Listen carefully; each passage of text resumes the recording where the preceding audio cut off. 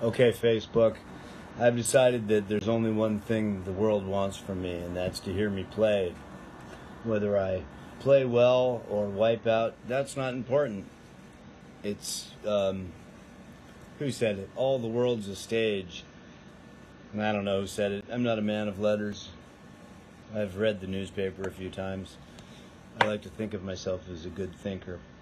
But this Saturday, I'm going to try a different time. Saturday night or Saturday evening live before SNL, you dig, on NBC will be Eric's Saturday evening live will kick off at 9 p.m.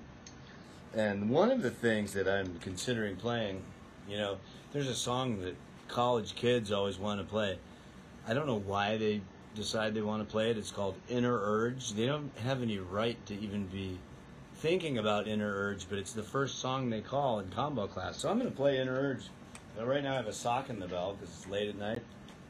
You know?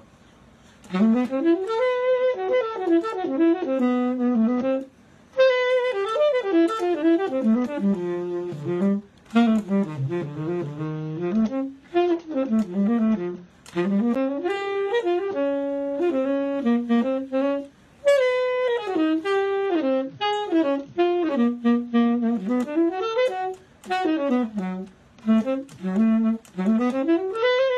know, something like that. I'm not sure. I was trying to remember the chords based on how McCoy, you know, kind of uses those claw fingerings. I don't know. I'm not talking about theory and technique anymore. I'm just going to play. I'm going to play for an hour, see if that helps.